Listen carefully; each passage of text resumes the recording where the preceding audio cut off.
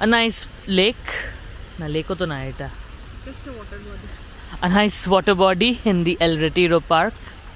Hello, welcome everybody. It's a brand new day in Madrid, Spain. And today we are going on a group day trip from Madrid to Toledo and Segovia. The morning in Madrid looks something like this. People love to work. It's a weekday morning. Right now at the Prado Park, going towards the Neptune Fountain for our pickup. We booked this tour on Viator. You can buy tickets for this uh, group tour almost in every newspaper stall in the city of Madrid. Uh, and the cost was about 56 or 57 euros each. It's going to be a bilingual group tour in English and in Spanish. The tour company is called the Yellow Tours. The drive to Toledo was pretty smooth. It took us just one hour through the Spanish highways. Toledo is a very interesting city, worth a visit, whether it's from a historical perspective or cultural point of view, for beautiful views, its gastronomy, or its proximity to the capital city of Madrid.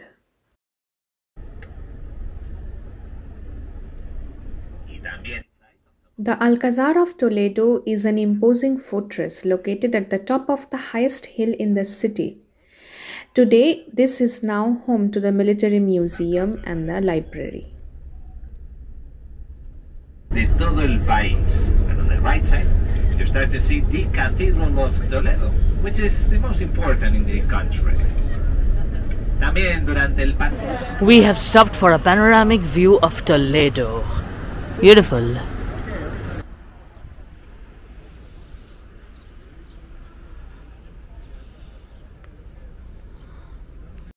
During the pre Roman period, Toledo was the capital of Spain. And later on, when the Arabs came, they moved the capital from Toledo to far south. And uh, approximately in the 11th century, when the Christians came, they made Toledo the capital again. But later on, another crazy king shifted the capital to Madrid. So the capital keeps changing. It's Madrid so far. Pues ahora continuamos con la panorámica. So we continue to the pan with the panoramic.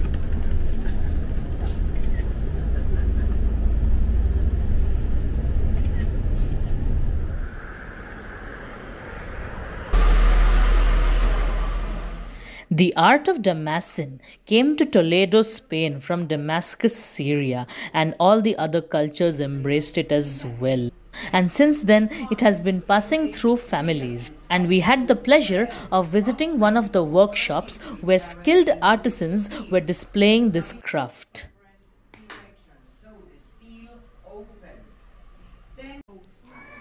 Damascene is the inlaying of gold, silver, or copper threads into the base of any oxidized steel or any other metal, and the patterns are etched with a fine thread that is barely visible and is worked into the rough edges.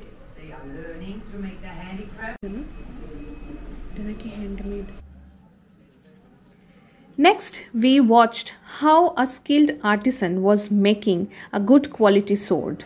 The quality of Toledo steel resides in the skill of the artisans and how it is being tempered mainly by the waters of the Tagus River nearby.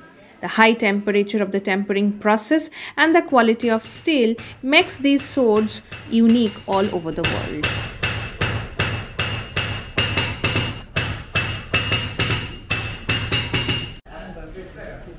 Ask me for the washrooms. The first door is men's room and the one in. So then here is now we can find all the finished pieces. Uh, here folks. Factory tour of Toledo was pretty good. A lot of uh, displays of swords and steel work made in Toledo. So we saw the panoramic view of Toledo, the Arab walls. Then we came to this factory called Damascinaus. And next we are going to go into the city center of Toledo for a 45 minutes long walking tour.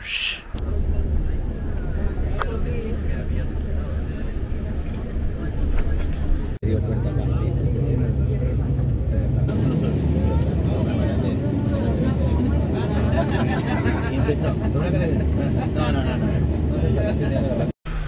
We got off the bus over here at Granadal Square in Toledo. We are going to start the walking tour of the city now. No, I didn't think about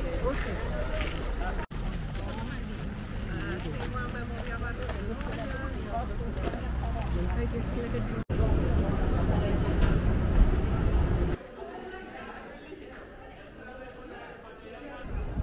Spain's former capital stands as a testament to the country's storied past, a nation where cultures have converged throughout the history. Popularly dubbed as the city of three cultures in its medieval heyday, this is where Christian, Muslim, and Jewish communities all lived together and thrived. This is the forest square.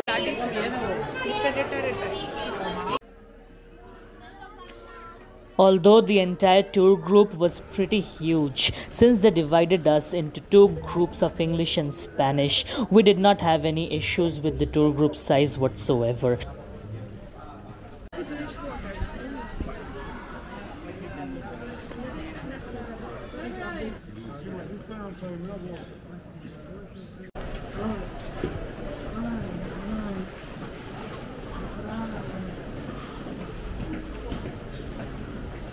In the stolen street.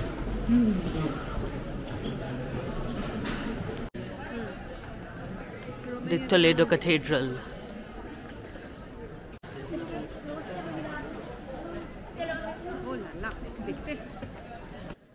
The Toledo Cathedral is one of the highlighting points of Toledo. This Gothic building was started in 1226 and completed in 1493 and as other many such buildings it was built over the foundation of a mosque which was previously here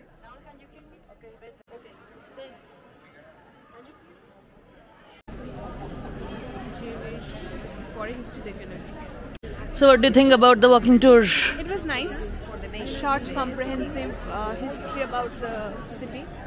Now we'll explore the Jewish quarter of Toledo.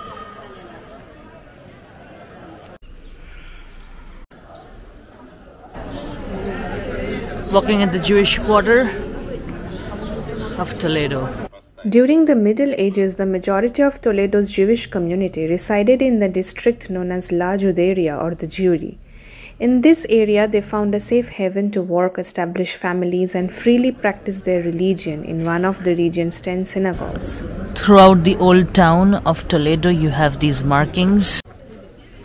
A recent project has sought to honor and remember this significant past by marking out the parameters for the Jewish community. Visitors can now identify the area where the Toledo's Jewish inhabitants once lived.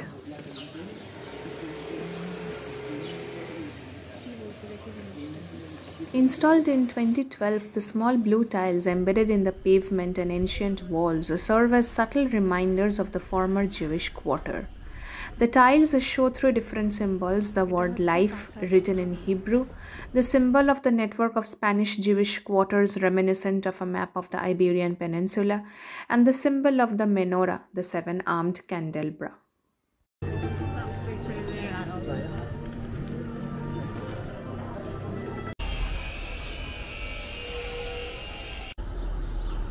The Synagogue of El Transito was built in 1355 and is one of the most magnificent synagogue in Toledo. We'll just grab a quick lunch after that and then head over to the bus stop where the bus dropped us earlier on in the afternoon to go to Segovia. Yep, that's the plan.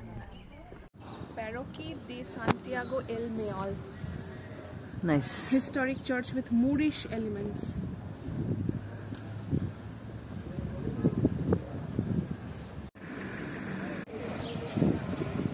পুয়ার্তাতে আমরা যাব সুন্দর দেখতে গেটটা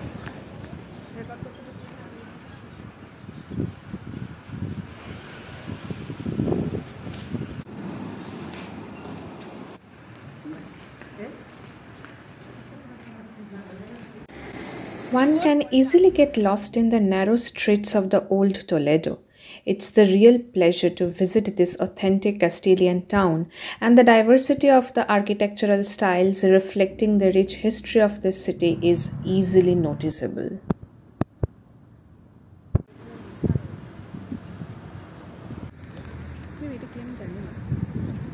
for Palestine.